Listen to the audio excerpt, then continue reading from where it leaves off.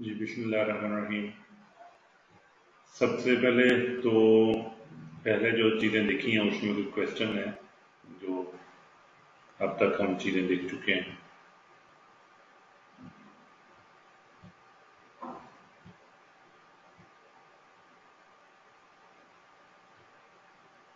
कोई क्वेश्चन नहीं buffer stock scheme और हमने स्टेबिलिटी प्राइस स्टेबिलिटी और उसकी बातें हमने की थी और ये समझने की कोशिश की थी कि जिस जिस मार्केट के अंदर इलास्टिसिटी हाई है, उस मार्केट के अंदर हमारा जो प्राइस है वो स्टेबल है और जिस मार्केट के अंदर इन इलास्टिसिटी ज़्यादा है, उस मार्केट में प्राइसेस अनस्टेबल है जी। इसमें कोई इशू नहीं है। और फिर बफर स्टॉक स्कीम के अंदर हमने समझने की कोशिश की थी कि हमारा गवर्नमेंट जो है, वो अगर मार्केट की प्राइसेस को स्टेबल रखना चाहे तो गवर्नमेंट इंटरवीन कर सकती है मार्केट के अंदर। और जब सप्लाई ज़्यादा है और प्राइस कम मिल रही है मार्केट के अंदर तो गवर्नमेंट सप्लाई परचेज कर ले। और जब डिमांड ज़्यादा है और सप्लाई कम है, उस वक्त और मार्केट में प्राइसेस बढ़ने का अंदेशा है तो उस वक्त गवर्नमेंट मार्केट में प्रोडक्ट सप्लाई कर दे। तो गवर्नमेंट ये बफर स्टॉक अपने पास मेंटेन कर ले। इस तरह से मार्केट में प्राइसेस को स्टेबल रख सकती है। ये चीज़ें कुछ हमने पढ़ी थी। और इसके बाद अब हमारे पास था कॉबवेब थ्योरी कॉबवेब थ्योरी क्या है मुख्तलिफ़ इकोनॉमिस्ट ने इकोनॉमिस्ट ने मुख्तलिफ़ प्रोडक्ट की जो प्राइसेस हैं डिफरेंट प्रोडक्शन साइकिल्स के अंदर डिफरेंट मार्केट साइकिल्स के अंदर, जो उनकी प्राइस के अंदर मूवमेंट आती थी ना, उस मूवमेंट को उन्होंने नोट की। अब हम क्या बात क्या कर रहे हैं? फॉर एग्ज़ाम्पल काउ मार्केट जो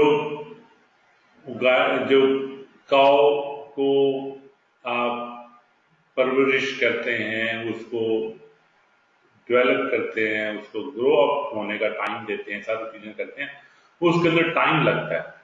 वो ये नहीं है कि जी कि आपने आज कहा कि काउस की कीमत बढ़ गई है तो मैं ज़्यादा काउस प्रोवाइड कर दूँ। आपने कहा कि काउस की कीमत कम हो गई है तो मैं काउस को प्रोड्यूस करना है काउस को मेंटेन करना कम करना तो इट टेक्स टाइम।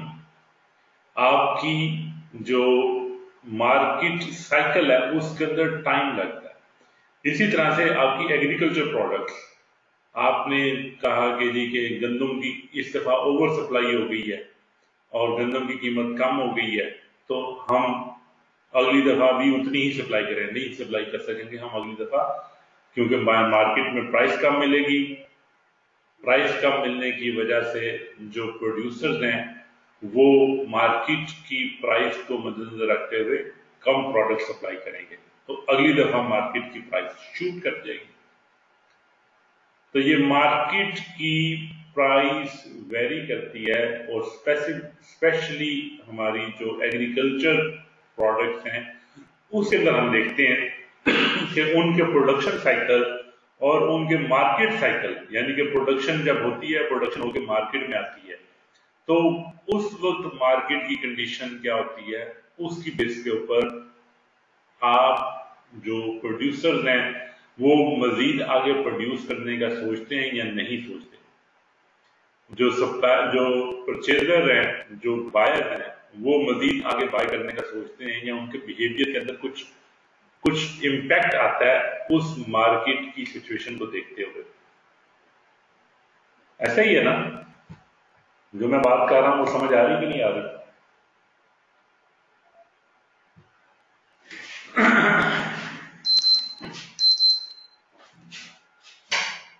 जो बात की जा रही है उसकी समझ आ रही है, आपकी अगर वीट है फॉर एग्ज़ाम्पल गंदम है। गंदम की प्रोडक्ट अगर मार्केट में बहुत ज़्यादा आपने सप्लाई होगी, अच्छी बम्पर क्रॉप हुई जिसको हम कहते हैं। बम्पर क्रॉप बम्पर क्रॉप की वजह से क्या होगा? सप्लाई इंक्रीज कर देगी। सप्लाई इंक्रीज करने से क्या होगा? सप्लाई इंक्रीज करने से मार्केट में प्राइस डाउन होगा। हमने देखा सरप्लस की कंडीशन मार्केट में ज़्यादा चली बम्पर क्रॉप की वजह से अब जो प्रोड्यूसर हैं, जो बीज प्रोड्यूस करते हैं। वो नेक्स्ट ईयर के लिए next production cycle next market के लिए, वो अपनी कहेंगे भाई, मुझे तो मैंने तो बड़ी अच्छी मेहनत की, अल्लाह का शुक्र है, बारिशें भी अच्छी हो गई, मौसम भी अच्छा था, ज़मीन ने अच्छी पैदावार दी, लेकिन मुझे तो फ़ायदा ना हो सका फ़ायदा क्यों ना सका क्योंकि प्राइस जो मैं एक्सपेक्ट कर रहा था, उस प्राइस से नीचे चली तो चली गई तो क्या होगा? नेक्स्ट ईयर के लिए अब प्रोड्यूसर्स अगले साल के लिए they will cultivate less cultivate less area come produce करेंगे। तो कम प्रोड्यूस करेंगे तो अगले साल होगा। सप्लाई लेस हो जाएगी। सप्लाई रिड्यूस हो जाएगी।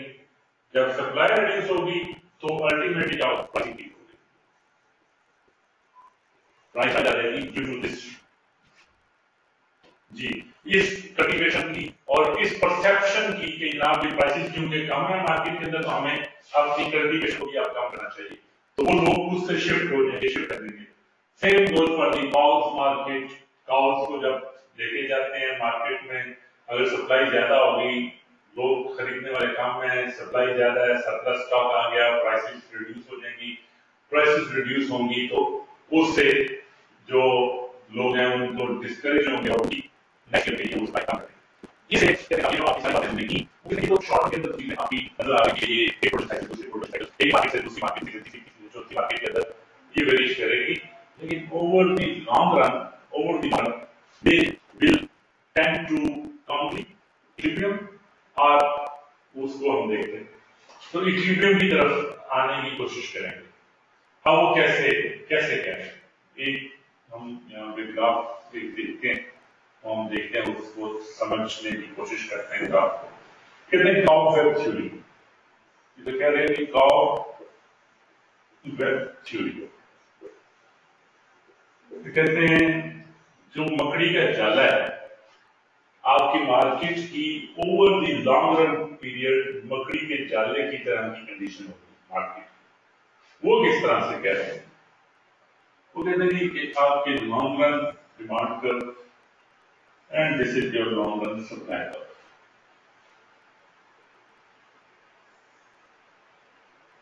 एक लॉन्ग रन डिमांड कर्व और सप्लाई कर्व आपके पास है। This is your supply this is your demand first किया start from the start we are talking about this is price this is quantity हम start में बात कर रहे हैं। कुछ थोड़ा सा हम यहाँ पे प्राइस के मैकेनिज्म को समझने की कोशिश कर रहे हैं। मार्केट में प्राइस के मैकेनिज्म को समझने की कोशिश कर रहे हैं। अच्छा जी फ़र्स्ट किया स्टार्ट फ्रॉम द स्टार्ट हमारी प्राइसेस मार्केट में ज़्यादा थी।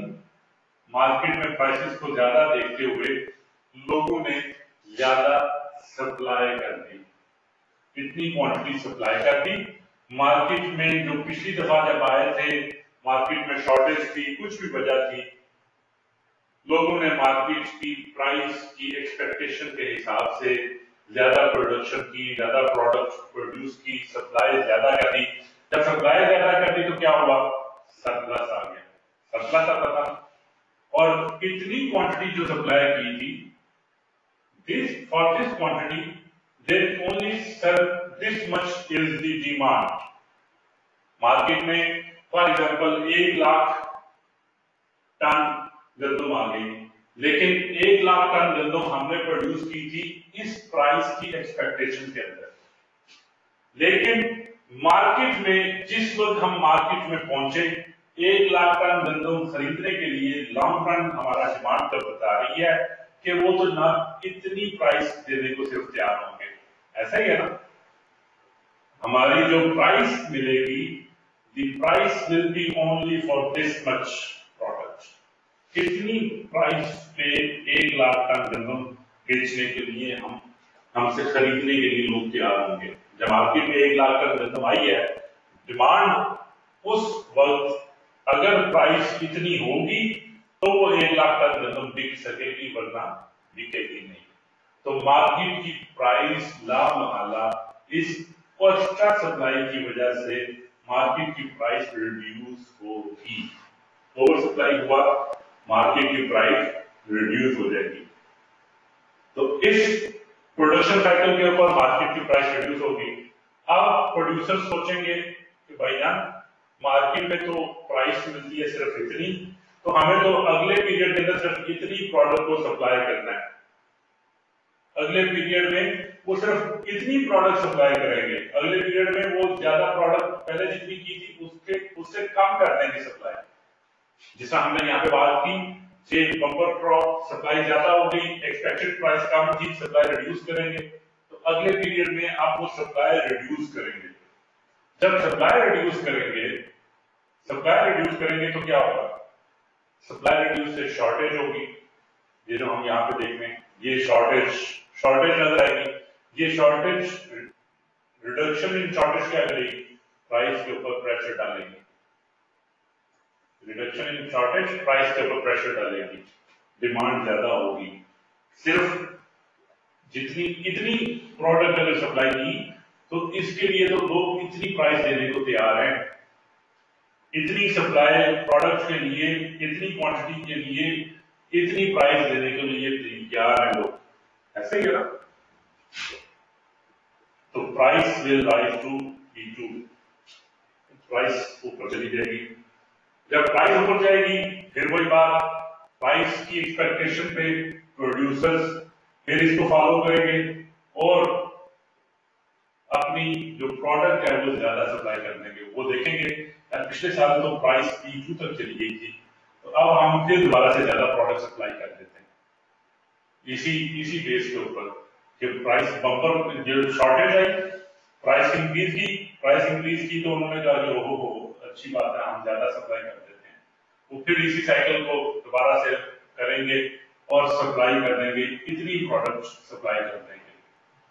जब इतनी प्रोडक्ट सप्लाई की जाएगी तो इतनी प्रोडक्ट को खरीदने के लिए सिर्फ़ इतनी डिमांड होगी मार्केट के अंदर। जब इतनी डिमांड होगी, फिर वही बात है, अगली बार में सिर्फ़ इतनी प्रोडक्ट सप्लाई करेंगे। जब इतनी प्रोडक्ट सप्लाई करेंगे तो फिर आपकी डिमांड इतनी प्रोडक्ट इतनी प्राइस के ऊपर बिक जाएगी। P three and P four फिर फिर ये प्राइस के ऊपर आएगी, फिर दोबारा से ज़्यादा सप्लाई कर देंगे, फिर कम हो जाएगी, फिर ये this cycle will cause our long run prices to merge to, converge to the equilibrium long run equilibrium वो लॉन्ग रन इक्विलिब्रियम के ऊपर लाने की कोशिश करेगी। ये प्राइसेस रिड्यूस हो हो के अल्टीमेटली लॉन्ग रन इक्विलिब्रियम के आने की कोशिश करेंगे। आई समझ फिजा हमदान शहरुल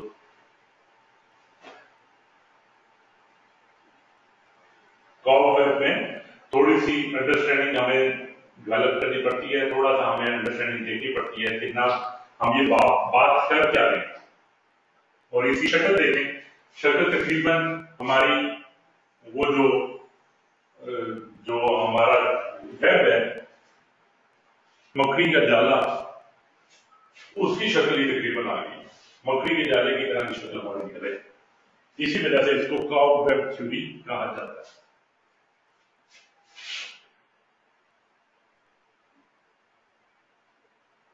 ठीक है इसको हम कन्वर्जेंट केस कहते हैं। Convergent case of cobweb theory convergent convergent क्या है? हमारी लॉन्ग रन जो हमारी प्राइस है लॉन्ग रन में वो इक्विलिब्रियम के ऊपर कन्वर्ज कर रही है इक्विलिब्रियम के ऊपर आ रही है कन्वर्जेंट प्राइस है। इसका एक दूसरा भी केस है। जिसको हम डाइवर्जेंट थ्योरी डाइवर्जेंट कॉपवेब कहते हैं। और वो डाइवर्जेंट कॉपवेब और कन्वर्जेंट में फ़र्क क्या है? फ़र्क है आपका इलास्टिसिटी का। यहाँ पे जो less elastic less elastic demand and supply curve की बात की जाती है। Less elastic demand and supply curve की बात की अगर यही आपकी demand and supply curve elastic होते तो फिर क्या होगा ये स्टूडेंट्स को काफ़ी कंफ्यूजन होती है। वो कहते हैं, सर, आपने तो बनाई थी फिगर्स वो तो कन्वर्जन की तरफ़ जा रही थी, वो तो हम देखा था इस तरीके के साथ। लेकिन मैंने फिगर बनाई तो वो तो कुछ और सिस्टम बन गया। तो उसमें क्या रीजन है? उसमें रीजन सिर्फ़ यही है कि जनाब, जो आपकी demand curve and your supply curve ये इलास्टिक है। डिमांड कर्व और सप्लाई कर्व रिलेटिवली इलास्टिक है। तो उससे क्या होता है? आप देखें, उससे क्या होगा अगर प्राइस किसी वक्त ज़्यादा है फॉर एग्ज़ाम्पल प्राइस ज़्यादा थी इस प्राइस पे इतनी ज़्यादा, और इसको हम थोड़ा सा एक्सटेंड करते हैं। डिमांड कर तो एक चीज़ इतनी क्वांटिटी के ऊपर, इतनी सप्लाई के ऊपर only this much is the quantity demanded और इसको भी हम थोड़ा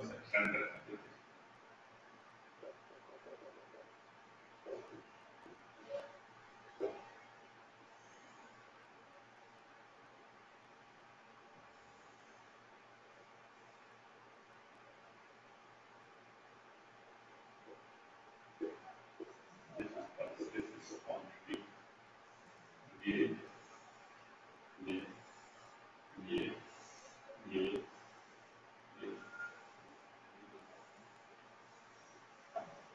आपकी जो वेब है, वो कन्वर्ज भी कर रही वो डाइवर्ज कर रही है। डाइवर्जेंट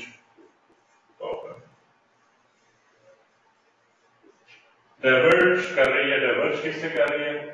इक्विलिब्रियम प्राइस से। प्राइस से दूर होती जा रही है। अब इसकी रीजन क्या जी अंदाज करो। इसकी रीजन क्या है? आपकी इलास्टिसिटी कि आपकी जो जो सप्लाई कर्व है, वो इलास्टिक है। जिसकी वजह से आप अपनी इक्विलिब्रियम के ऊपर आने की बजाय आपकी सप्लाई मूव कर रही है मोर वोलाटाइल है। सप्लाई वोलाटाइल होने की वजह से प्राइसेस और वोलाटाइल है। हमने ये कहा था कि जितनी इलास्टिक होगी उतनी ही आपकी कन्वर्जन डाइवर्जन की तरफ़ जाएगी आप यहाँ पे करते हैं क्लियर है इसमें कोई इशू तो नहीं है यहाँ पे सिर्फ़ प्रोसेस से कंसोलिडेट करते हैं second application of dynamic movement between supply and demand is represented through the problem. This theory looks to offer an explanation as to why prices periodically, periodically fluctuate, especially in agriculture, and traces the movement through changes in supply and demand. When we say that market equilibrium has been reached, where supply is equal to demand, it does not necessarily happen instantaneously. उसी वक्त ही नहीं होता long run के अंदर हो सकता है उसी वक्त There will be some interactions between supply and demand which eventually settle on the equilibrium price and quantity. The Cowell theory offers an explanation as to how the market reaches equilibrium from a point that started off the equilibrium. equilibrium chart पे ये अब फिर वही बात कि ये ना P1 था ये प्राइस थी इतनी सप्लाई की इस पे सिर्फ़ इतनी डिमांड थी इतनी इतनी इतनी इतनी ये सारा करते हुए कन्वर्ट होता जा रहा है वही जो डिस्कशन हमारी यहाँ पे थी काउंटर की उसी को यहाँ पे डिस्कस कर The key aspect to grasp is that there is a time difference between each market and also the choice a farmer has of how many cows to supply at the next market based on his knowledge of the price of cows in the current market. The price is received is always found by tracing the quantity up to the demand curve. Suppose the farmer is evaluating how many cows to be to take to market and sell. At the market means currently the quantity is Q dash and the price is D dash. Before the next market there is a disease that kills the number of cows. This means that the quantity at the market is just Q1. Q1 पे आ गया less than Q dash and consequently the price is P1, the new short-term equilibrium is at A1. Short-term equilibrium is at A1. यहाँ पे उसे Q1 में था आपने इतनी जब सप्लाई की थी इसको डिमांड कब तक लेके जाए आप प्राइस यहाँ तक पहुंचेगी फिर इसकी एक्सपेक्टेशन में फिर बहुत चलना होगा At this market then the price received for each cow is higher than the last. How then will the farmer respond? Seeing a high price for this their stock at the market, the quantity of crop produced will be what is expected at P1 and is therefore Q2. वो Q2 तक P1 से आगे उसने जिस तरह से हमने ये बात की थी उधर से P1 इसकी बेस पे वो Q2 तक यहाँ तक वो क्वांटिटी सप्लाई करने को तैयार हो गए लेकिन ये सप्लाई सिर्फ इतनी प्राइस डिमांड जो तक फिर दोबारा वापस आएंगे तो आपकी प्राइस रिड्यूस हो जाएगी because the market price is determined by tracing the quantity up to the demand curve, the price at market is P2. Seeing the price has now dropped below equilibrium, the producer will supply less to the market. Next to Q3, the fall in supply means that the price becomes P3 and such will supply more following market.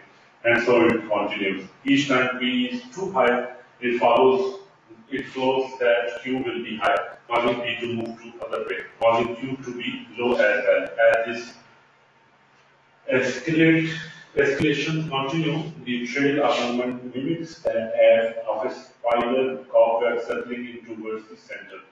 The important point to note is that with each iteration, iteration gap movement, the price is getting closer to the equilibrium. In this example, the long run equilibrium will eventually be reached. In this sense, we can say that price is dynamically stable. Dynamically stable, long run gap. important of elasticities ये जो discussion हम कर रहे हैं this is now not always the case though in instances where the slope of supply curve is flatter जो हमने कहा था elastic होती then we find that with a few iterations iterations movement the short run equilibrium will do not tend to to the long run going back to our cow scenario if supply was more elastic the price change in food cause such a swing in the quantity supplied in the next period that demand will effectively die out. The illustration below demonstrates. ये elastic shortage sign ये आया इतनी supply कर दी इतनी supply पर इतनी demand थी इतनी सप्लाई है नहीं थी अगर होती तो फिर डाइवर्जन वाली सिचुएशन हमारी आ है Consequently, if the slope of demand curve is steeper, then that of supply curve, the points are dynamically unstable. Yet to supply curve demand जो स्टीपर है तो डायनामिकली अनस्टेबल है अच्छा जी, अब ये दादी की कॉबेट की थ्योरी जो है वो क्या है इसको? बिल्कुल सच माना जाए तो क्या नहीं, सच ना माने। इसके अंदर कुछ खराबियाँ हैं। वो कुछ लोगों ने इसकी खराबियों को आइडेंटिफाई किया, वो क्या है? कहते हैं कि सारे इतने बेवकूफ़ तो नहीं होते जितने आपने बेवकूफ़ बनाया था। ऐसे ही है। आप कहते नहीं कि वो कीमत बढ़ गई है तो ये दफ़ा जो है ना वो ज़्यादा सप्लाई कर देंगे तो भाई वो थोड़े से अकल के साथ कुछ अपनी एक्सपेक्टेशन को जरा रिएक्शन लाइफ में भी कर सकते हैं लोग ज़रूरी थोड़ी है कि उतने करें। Expectation of the price in the next period are based solely on what they were in the last period okay तो इसका थोड़ी होता है। आप पिछले दफ़ा में मुझे कीमत बढ़ गई थी, मुझे पता तो था कि डिज़ीज़ की वजह से पावर कौन सप्लाई थी, इस वजह से बड़ी या हमारी कोई और रीजन थी जिस वजह natural could score that few wrong are the market the producer would learn that this is not necessarily the best tactic to adopt.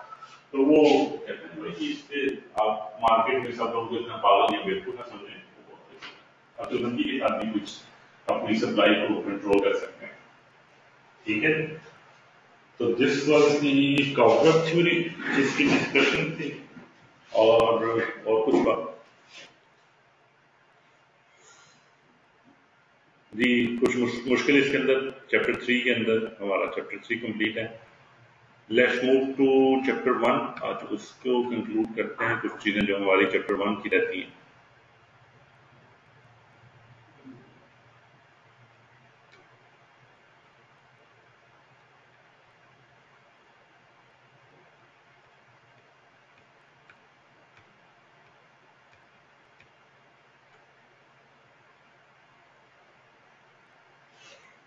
जी, किसी को मुश्किल तो नहीं चैप्टर थ्री की डिस्कशन पहले देख ले। नहीं, कोई डिस्कशन कोई डिस्कशन नहीं। चले गुड अच्छा जी चैप्टर वन के अंदर हमने जो चीज़ें छोड़ी थी, उनको, उसके अंदर कुछ डेफिनेशन थी।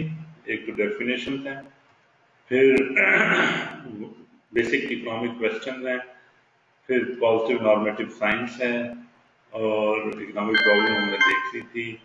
माइक्रो मैक्रो की फ़र्क है लिमिटेशन हैं, और एजेंट्स हमने देख लिए थे। ये हमने देख लिया था। सर्कुलर फ्लो ऑफ़ इनकम को हम अभी देखते हैं बाद में। स्केरसिटी चॉइस को हमने देख लिया था, और इसके अलावा इकोनॉमिक सिस्टम को हमने देखने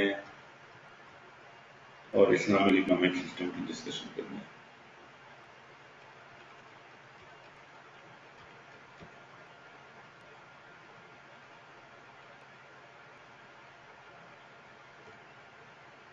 अच्छा जी डेफिनेशन अब तक कहते हैं ना कि चार हमारे दो अदबार इकोनॉमिक्स के ऊपर गुजर चुके हैं। तीन लिखे हैं तो तीन ही हम कर देते हैं। तीन अदबार इकोनॉमिक्स के सब्जेक्ट के इवाल्व होते हुए गुजर चुके हैं। पहले दौर के अंदर फ़र्स्ट जो टाइम पीरियड था, जब एडम स्मिथ जिसको हम बाबा economics father of modern economics हम कहते हैं, बाबा इकोनॉमिक्स कहते हैं एडम स्मिथ साहब। एडम स्मिथ साहब ने जो कॉन्सेप्ट दिया था, वो कॉन्सेप्ट था कि वेल्थ ऑफ़ नेशंस की डिस्कशन वेल्थ ऑफ़ नेशन जो modern economics economics as a subject जब हमने पढ़ना शुरू किया इकोनॉमिक्स के प्रिंसिपल तो बहुत पुराने हैं। खरीदो फरोख लेन देन कितनी चीज़, किसकी क्या वैल्यू बिहेवियर क्या है, वो सारे प्रिंसिपल्स तो पुराने हैं। बट इन प्रिंसिपल्स को किसी तजरिए के तहत, किसी पैरामीटर्स के तहत जब हमने पढ़ना शुरू किया तो उसका नाम हमने इकोनॉमिक्स रखा। पहले उससे हमारे पास रिटर्न फॉर्म के अंदर इकोनॉमिक्स हम सब्जेक्ट के तौर पे नहीं पढ़ते थे। जब एडम स्मिथ आए तो उन्होंने कुछ हमें वेल्थ ऑफ़ नेशंस के ऊपर एक वर्किंग पेपर एक अपना मुकालमा दिया, जिसकी बेस के ऊपर हमने एक understanding of human behaviour for economic decision उसकी स्टडी स्टार्ट की। ये हमारा बेसिक जो नॉन रिटर्न फॉर्म के अंदर चीज़ें हैं उसके अंदर से अच्छा एडम स्मिथ के जमाने में सारे का सारा फोकस वेल्थ के ऊपर था। कि इंडिविजुअल कैसे वेल्थ इकट्ठी करता है एक्यूमुलेट करता है, और उसके बिहेवियर टूवर्ड्स वेल्थ एक्यूमुलेशन उसकी डिस्कशन और इसी तरह से जो नेशन हैं, कौमें हैं, वो उनका फोकस अपने एसेट्स को बढ़ाने में वेल्थ को बढ़ाने के लिए क्या होता है? तो उसने डिस्कशन सारी की सारी discussion was around the wealth generation wealth creation wealth accumulation और वेल्थ फोकस्ड आपकी स्टडी थी। फिर सेकंड दौर दौर आया, जहाँ पे हमें पास एल्फ्रेड मार्शल साहब आए, और उन्होंने कहा जी कि नहीं, आप ये वेल्थ की सिर्फ़ स्टडी नहीं होनी चाहिए, कि जनाब, मैं मशीनें बढ़ा लूँ, मैं ज़मीनें बढ़ा लूँ, मैं अपनी फैक्ट्रियाँ बढ़ा लूँ, मैं अपने मामला सारे रिसोर्सेज अपने सिर्फ़ एक तरफ़ कर लूँ, नहीं। वेल्थ के अलावा वेलफेयर का भी ताल्लुक होना चाहिए और होता है ह्यूमन इकोनॉमिक्स बिहेवियर के अंदर। ह्यूमन इकोनॉमिक्स बिहेवियर में सिर्फ़ वेल्थ आपकी फोकस नहीं होती। मेरे पास दस गाड़ियाँ हो बीस गाड़ियाँ हो पचास घर हो पाँच लाख रुपए हर महीने कमा रहा हूँ। ये सिर्फ़ वेल्थ आपका फोकस नहीं होती।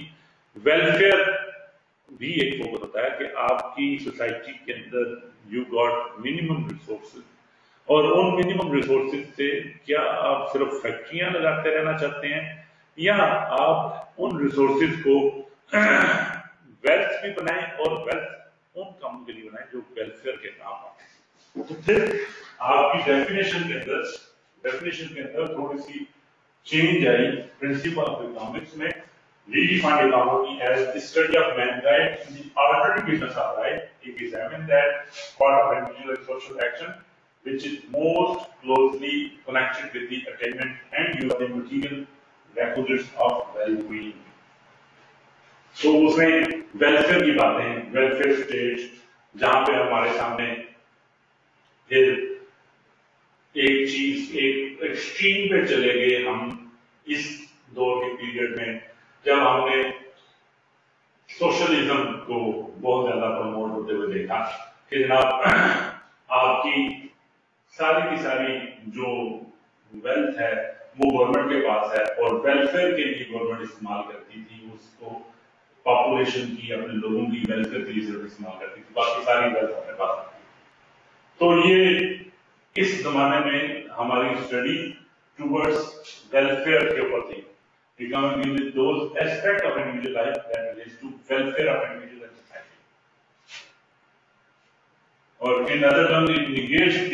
concept of attainment of wealth as the primary objective of human life and shifts the emphasis from wealth to man.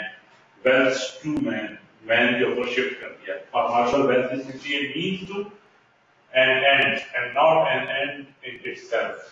हमने जो कहा था मीन्स हमने कहा था क्या सोर्स एंड क्या था नीड तो उसने कहा कि ये वेल्थ इज सिंपली मीन ये एक सोर्स है, जो कि अटेन करता है आपकी ज़रूरत को पूरा करने के लिए। Machine in its own self कुछ भी नहीं है। उस मशीन से जो प्रोडक्ट प्रोड्यूस होती है, वो वो प्रोडक्ट बेसिक आपकी एंड है, वो नेसेसिटी को पूरी करता है। क्लियर है? फिर जब ये सारी बात मामला आ गई तो फिर थोड़ा सा अर्सा और आगे चले तो पता चला कि चीज़ें तो खत्म हो रही हैं। चीज़ें जब हम समझते थे कि पानी बेतहाशा है, हवा बेतहाशा है, आपकी गोल्ड भी हम समझते थे वो है मौजूद है, आपकी रिसोर्सेज के ऊपर कोई कदरन नहीं था कहीं में आपको ये नहीं एहसास होता था कि फाइनाइट है। प्रोडक्ट्स में रिसोर्सेज में फाइनाइटिज्म आपको इनफाइनाइट लगती थी। तो जब चीज़ें देखी तो पता चला, नहीं, अब तो प्रोसेसेस हमारे रिसोर्सेज आर लिमिटेड और ये अंडरस्टैंडिंग पहले से थी, लेकिन आपकी स्टडीज़ इस एलिमेंट के ऊपर नहीं हो रही थी। आपकी स्टडीज़ वेलफेयर के ऊपर हो रही थी या वेल्थ एक्यूमुलेशन के ऊपर हो रही थी। अब जब ये चीज़ इकोनॉमिक्स को नाइनटीन सेंचुरी के अंदर ट्वेंटी सेंचुरी के अंदर जब उन्होंने ये चीज़ नोट की तो फिर आपकी स्टडी स्केर्सिटी और चॉइस के ऊपर चली गई फिर हमने अपॉर्चुनिटी कॉस्ट स्केर्स रिसोर्सेज उन स्केर्स रिसोर्सेज को कैसे यूटिलाइज करना है और उनसे हम किस तरह के काम कर सकते हैं, उसकी हमारे बेस्ट पॉसिबल आउटकम किस तरह से निकल सकती है, उनके ऊपर आपकी स्टडी चलेगी रॉबिन्स ने कहा जी, nature and significance of economic science gave an all-encompassing encompassing definition of economics. He maintained that the word material used by Marshall had narrowed down the scope of economics and ignored the immaterial aspect that were integral to human welfare. Secondly, there were many actions that did not promote welfare yet were a part of economics. To him, the definition was impractical, vague, and judgmental. और इनकी definition क्या थी? He defined this. The science which studies human behavior has a relationship between given ends and scales mean which have alternative uses. और वही बात है, इसके अंदर, इस डेफिनेशन के अंदर हमने स्केर्सिटी को अपॉर्चुनिटी कॉस्ट को उनको हमने डिस्कस किया ऑल्टरनेट यूज़ की डिस्कशन जो हमारी तो उसको हमने किया। और आगे हम काफ़ी चीज़ें पढ़ चुके हैं। अच्छा जी बेसिक इकोनॉमिक क्वेश्चन आता है। बेसिक इकोनॉमिक क्वेश्चन जनाब क्या होता है? What to produce how to produce for whom to produce तीन क्वेश्चन है. वट हाउ होम ये तीन बेसिक क्वेश्चन है. इकोनॉमिक्स में के जनाब as a mission we must need to understand as a human nation as a humanity we need to understand economic अपने resources को कहाँ पे कंज्यूम करना है व्हाट टू प्रोड्यूस फिर उन रिसोर्सेज को किस तरीके के साथ कंज्यूम करना है हाउ टू प्रोड्यूस एंड फिर उन रिसोर्सेज को इस्तेमाल कौन करेगा? फॉर होम टू प्रोड्यूस अब बात क्या है? ज़मीन का एक टुकड़ा है। उस ज़मीन के टुकड़े के ऊपर आप गंदम उगा सकते हैं। और उसी ज़मीन के टुकड़े के ऊपर आप एक फाइव स्टार होटल एक रिजॉर्ट वो बना सकते हैं अब ये नेशन की प्रॉपर्टी है कि उस ज़मीन को कहाँ पे, किस पर्पज के लिए यूज़ करना है। क्या खाने के लिए जो एक्टिविटी है, उसके ऊपर यूज़ करना है, या उसको आपके जो अली क्लास है, जिसको रिजॉर्ट चाहिए या उसकी फाइव स्टार होटल बनाना उसके लिए यूज़ करना नेशन अपनी प्रायोरिटीज सेट करती है गवर्नमेंट और सोसाइटी अपनी प्रायोरिटीज सेट करती है, उन प्रायोरिटीज के ऊपर फिर वो अपने रिसोर्सेज को कंज्यूम कर रहे हैं। तो व्हाट टू प्रोड्यूस पहला क्वेश्चन व्हाट टू प्रोड्यूस तो व्हाट टू प्रोड्यूस में कहते हैं जी कि दो बातें कर लें। Needs of society and use of available चाहिए क्या और हम क्या बना सकते हैं? ज़रूरत है ना आपके प्रिंटर बनाने हैं कंप्यूटर बनाने हैं तो क्या हम बना सकते हैं? शायद हम नहीं बना सकते। तो उसको शायद हमें किसी और बनाना चाहिए तो ये जहाँ पे दोनों चीज़ें कंबाइन होगी, अपने रिसोर्सेज को हम वहाँ पे यूटिलाइज करें। फिर how to produce combination scarce resources that would use the produce goods and services production technique क्या होगी? कैपिटल किस तरह से लगाएँगे लेबर कौन कौन सी इस्तेमाल होगी? जिस चाइना कहता है कि वो अपने लेबर फोर्स को लेबर मार्केट को पूरा रेगुलेट करते हैं। वो कहते हैं, जो लेबर है गाँव वो एग्रीकल्चर की प्रोडक्ट्स के अंदर ही इस्तेमाल होगी। वो जो लेबर गाँव में रजिस्टर्ड है, वो शहर की इंडस्ट्री के अंदर आके काम नहीं कर सकता। उसको लाइसेंस ही नहीं है, अपनी अपनी मैन पावर को उस प्रोडक्ट के लिए या उस इंडस्ट्री में कहीं और पे यूज़ करने के लिए। तो ये आप अपने फैक्टर ऑफ़ प्रोडक्शन को कैसे यूज़ करना है? कहाँ पे यूज़ करना है? How to produce for element फिर फॉर होम टू प्रोड्यूस में हमने बात की distribution of goods and services के फाइनल नेशनल प्रोडक्ट किस तरह से जाएगी? काफ़ी प्रोड्यूस करेंगे in the country of it is exported outside for whom to produce फिर इकोनॉमिक्स के बारे में, बारे बारे में कहते रहते हैं कि ना ये साइंस है कि आर्ट्स है। तो इकोनॉमिक्स भाइयों ने कहा कि साहब जब आप थ्यूरी में पढ़ते हैं तो इट्स अ साइंस थ्यूरी में it's a science but practice में it's an art theory science theory में साइंस किस तरह कहते हैं? कि वो कह रहे हैं कि जैसे आपने थ्यूरी पढ़ी कि law of demand price increase करेगी तो डिमांड डिक्रीज होगी। प्राइस डिक्रीज करेगी तो डिमांड इंक्रीज होगी। तो थ्योरेटिकली आप एक कंक्रीट डिसीज़न दे रहे थ्योरेटिकली आप एक कंक्रीट एक ऐसी बात कह रहे हैं जिसको कि आप प्रूव करते हैं। आप अपने जो डिमांड स्केड्यूल है उससे प्रूव करते हैं और आप अपने कॉन्सेप्ट को पूरी तरह से डिफेंड कर सकते हैं। Theoretically you can defend it but practice में क्या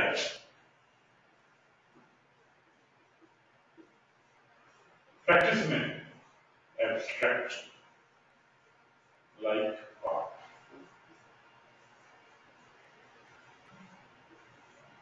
आर्ट की तरह एब्स्ट्रैक्ट इसकी प्रैक्टिस है। एब्स्ट्रैक्ट प्रैक्टिस का मतलब क्या है? कि जो हमें लॉ ऑफ़ डिमांड का, कि जनाब लॉ ऑफ़ डिमांड के मुताबिक प्राइस इंक्रीज करेगी डिमांड डिक्रीज होगी। लेकिन कई प्रोडक्ट्स के अंदर जब हम देखते हैं कि प्राइस इंक्रीज करती है तो उसकी डिमांड भी इंक्रीज कर जाती है। तो साइंस तो हमने ये पढ़ा था। साइंस हम नेचुरल साइंसेज जिसको कहते हैं, उसके अंदर जब हमने फिजिक्स में पढ़ा न्यूटन का लॉ, कि आपका हर एक्शन का रिएक्शन होगा, और उतनी ही फोर्स जितनी फोर्स में एक्शन होगा, उतनी ही फोर्स में रिएक्शन होगा, लेकिन अनवर्स साइड के ऊपर होगा रिवर्स साइड के ऊपर होगा।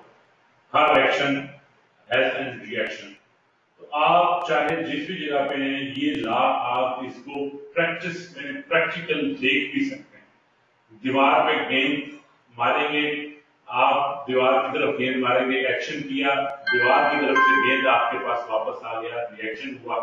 उस अनवर्स डायरेक्शन में था और उसी फोर्स से वापस आ गया। तो वो पॉजिटिव साइंस नेचुरल साइंसेस हमें बताती हैं। तो वो थ्योरी और प्रैक्टिस दोनों में कंक्रीट होती हैं उनको आप प्रूफ कर सकते हैं। प्रैक्टिस में भी उनको प्रूफ कर सकते हैं। बट इकोनॉमिस्ट जब आप थ्योरी में बात करते हैं तो आप पूरा प्रूफ कर सकते हैं लेकिन जब आप प्रैक्टिस में लिखते हैं तो इसका एब्स्ट्रैक्ट बिहेवियर होता है सो that why we say in theory it's a science but in application it's an art in methodology economics behaves as science and its application economics becomes an art methodology में science और application में arts clear और then फिर ये positive और normative अब positive और normative कर चीज़ें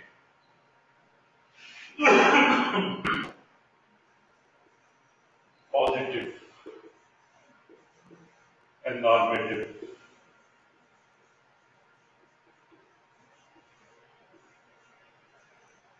पॉजिटिव आपकी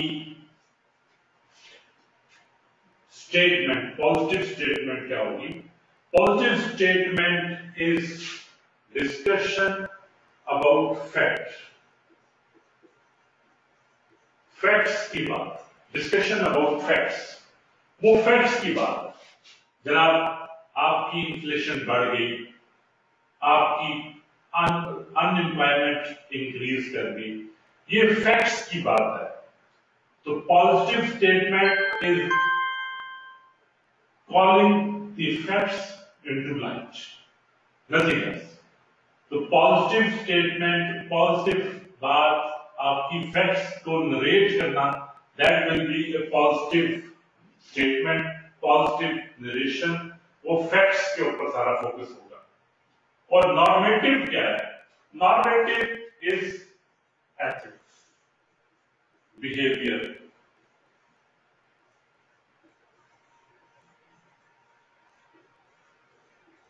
इस बिज़नेस से मुझे 10 फ़ीसद नफा हासिल हुआ। ये एक पॉजिटिव स्टेटमेंट है। इस बिज़नेस से मुझे 50 फ़ीसद नफा हासिल हुआ। ये एक पॉजिटिव स्टेटमेंट है। मैंने फैक्ट्स को बयान किया। फैक्ट्स को बयान किया। Profit fifty percent for example ये प्रॉफिट फिफ्टी परसेंट लेकिन क्या मुझे पचास फ़ीसद नफा हासिल करना चाहिए था? Profit fifty percent if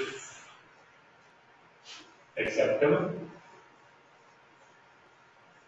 क्या ये सोसाइटी तो ये कोई लाइफ सेविंग ड्रग थी जिसके ऊपर मैं सोसाइटी की ज़रूरत को कंज्यूमर की ज़रूरत को एक्सप्लाइट कर रहा मैं अपने बिहेवियर को जज कर रहा हूँ एथिक्स की डिस्कशन कर रहा हूँ। उस जो फैक्ट की बात नहीं कर रहा, जो फैक्ट हमने कहा इन्फ्लेशन इंक्रीज कर रही। क्या इन्फ्लेशन इंक्रीज करना हमारी सोसाइटी के लिए बेहतर है? या इन्फ्लेशन इंक्रीज करना हमारी सोसाइटी के लिए बेहतर नहीं है? क्या अनएम्प्लॉयमेंट हमारी सोसाइटी के लिए बेहतर है या नहीं है? ये चीज़ हमारी नॉर्मेटिव स्टेटमेंट्स में बनेगी, जहाँ पे हम अपने बिहेवियर को, अपने एथिक्स को उनको डिस्कशन कर रहे हैं। पॉजिटिव क्या है positive discuss what and normative science tell us what ought to be, क्या होना चाहिए। What का मतलब facts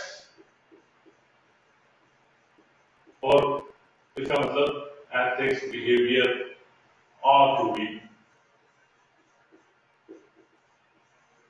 उसकी बात है The positive sign describe and normative signs evaluate. Positive sign describe and evaluate. For example, if we say that an entrepreneur takes profit as the central criterion while making an decision, it is positive economics. Positive economics. And when we say how they use this criterion, क्या उनको ये इस्तेमाल करना चाहिए क्या इस सिर्फ और सिर्फ प्रॉफिट बेस के ऊपर अपना डिसीजन करने चाहिए then we enter the domain of normative economics. Positive economics deal with the factual questions such as understanding why engineers are paid more than the cleaners and what is the impact of technology on productivity. Such questions may appear to be difficult questions, but yet they can be answered easily through factual analysis. Whereas normative aspects of economics deal with value judgments. It involves ethical principles and norms of fairness. Ethics, norms of fairness. Should change be made to a tax legislation that would benefit the wealthy more than the poor? Should unemployment be raised to ensure, ensure that price inflation does not become too rapid? The answers to such questions could be found out only by political debates and decisions and not by economic analysis alone. Normative economics aims at making complicated judgments in a systematic manner with the help of framework developed for the purpose. Besides, there are no wrong and right answers to normative question of economics. It depends on which set of values are being followed in a particular society.